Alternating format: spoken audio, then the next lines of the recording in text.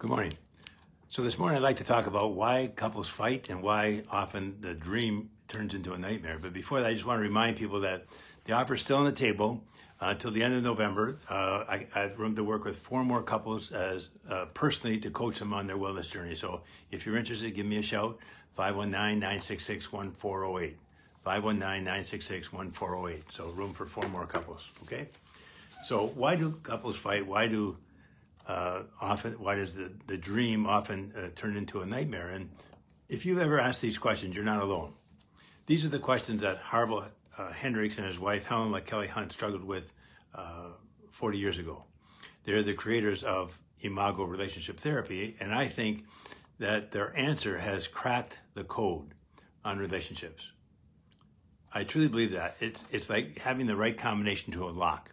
Once you know the combination, much easier to open the lock. Once you understand better why two people are together, it's much easier to deal with whatever issues arise. So they're, they're counterintuitive insight. It's counterintuitive because nobody in their conscious mind would, would, would partner with somebody who can't meet their needs, just like they weren't met as, as a child. All right?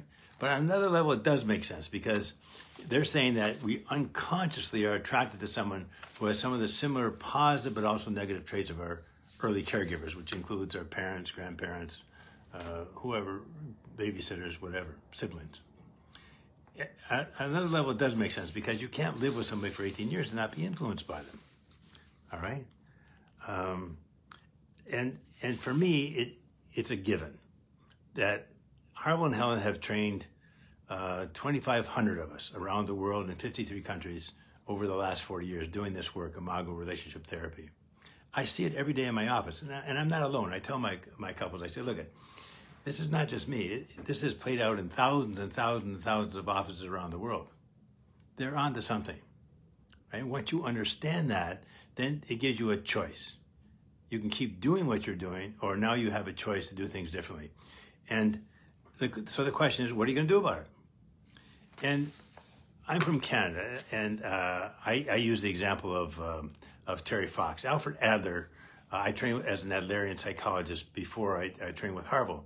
And Alfred Adler uh, was a, a, psychologist. He was a contemporary of Freud, but broke with Freud very early because they disagreed on many things. And he has this great saying, it's not what you possess, it's how you use it.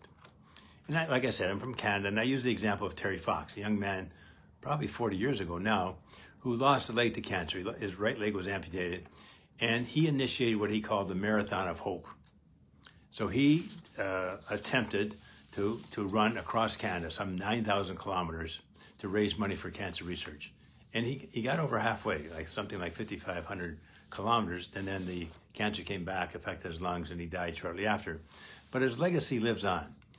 Every year, there, there's hundreds of Terry Fox runs to raise money for cancer research.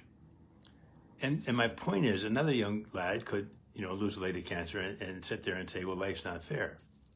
They both possess the same thing, but use it quite differently. And so with you. You possess your partner right now. Now, what you're going to do with that, that you, that you have more choice over. And, and, and so it's like having, it's, well, it is. It's like having the first digit of the combination lock, all right?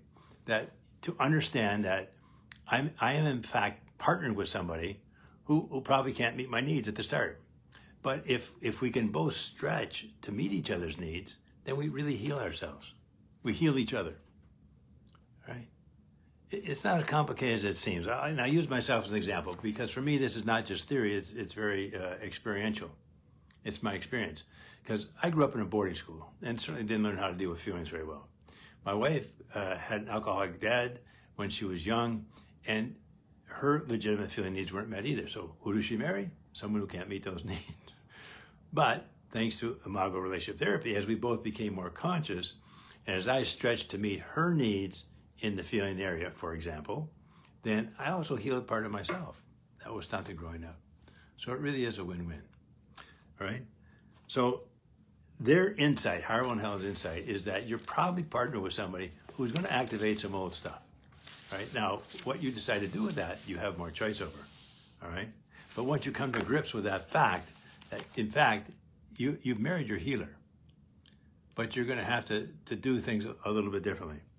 All right. So for me, it's like having that first digit of the lock. There's there's four more to go, but once you understand that, much better chance to do things a bit differently.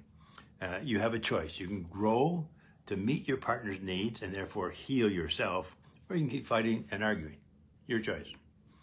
Okay. Now, if you have comments or questions, or if just make, doesn't make any sense at all, just type in Imago in the comment section. I'll get back to you on Messenger, and we can continue the, the, conversation. All right. Anyway, uh, we'll, we'll, carry on on Thursday. Or the second digit. Cheers.